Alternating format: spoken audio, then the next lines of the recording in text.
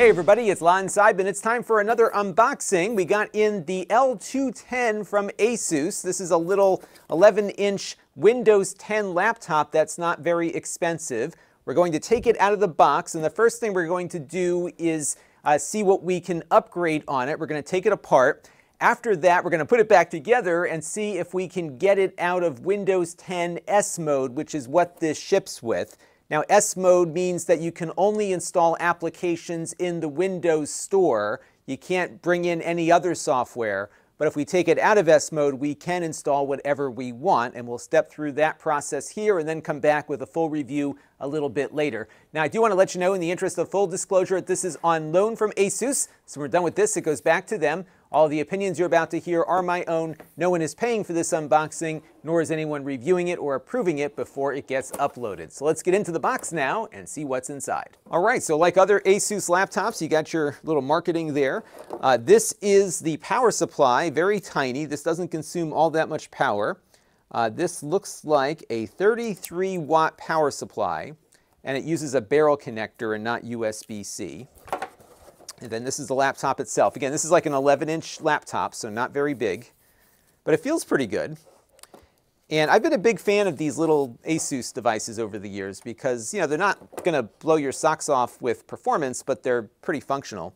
Uh, the hinge feels good. It feels a little looser than I expected. Usually I, I like to have a tighter hinge, but if it holds up over the years, that's fine, right? And it goes um, completely flat there, so that's pretty nice.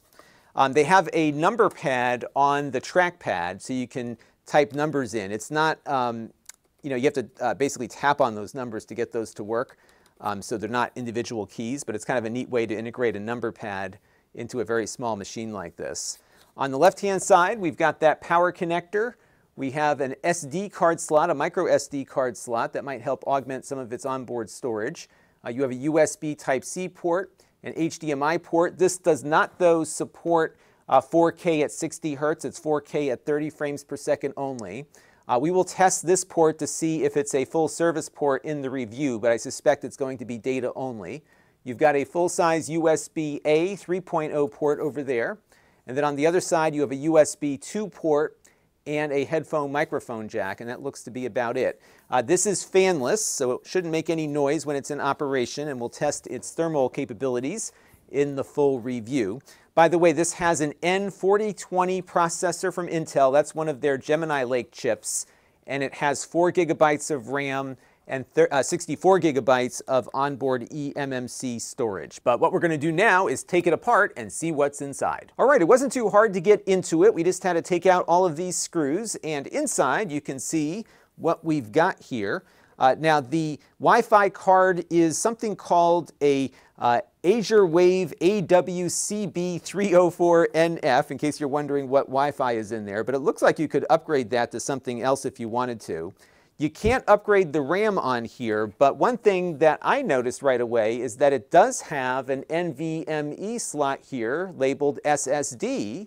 So in addition to that 64 gigabyte eMMC, I'm going to take a spare uh, NVMe drive that I had laying around and install it now just to see if we can make use of that. So we're going to put that in there and I'm going to put this back together and see what we end up with. Now remember, this is fanless, so you've got this copper heatsink here, and then you've got some uh, material here on the bottom of the lid or the bottom of the casing here to help distribute that heat out a bit. But that's all it has for uh, cooling. It's a passive cooling system, so you'll see probably some throttling on this when we do our thermal testing later on in the review. So let me get this hard drive screwed down and we'll get it all set up and see what works. All right, so everything booted back up again and I was very happy to see that the NVMe SSD that we installed has been detected.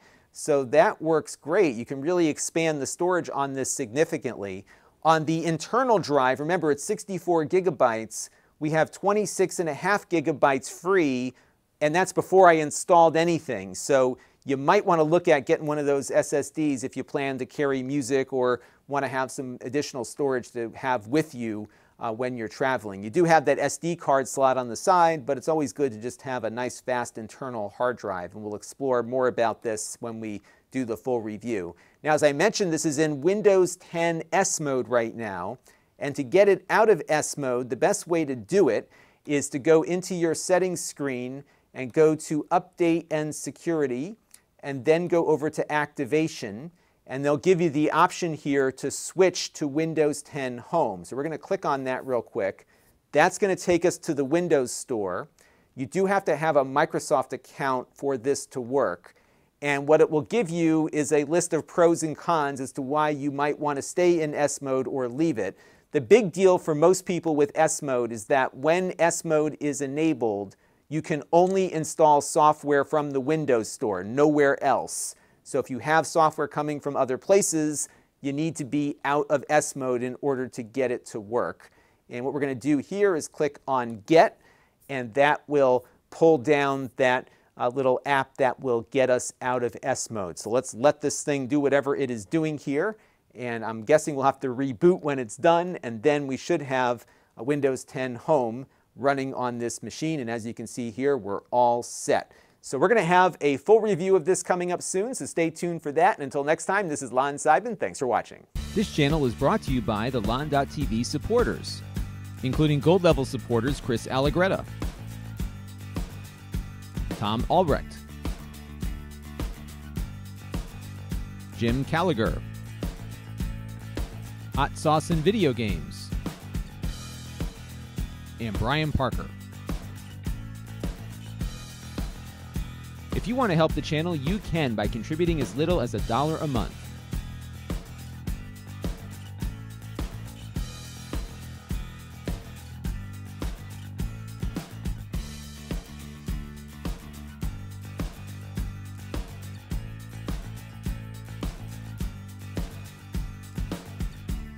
Head over to lon.tv slash support to learn more.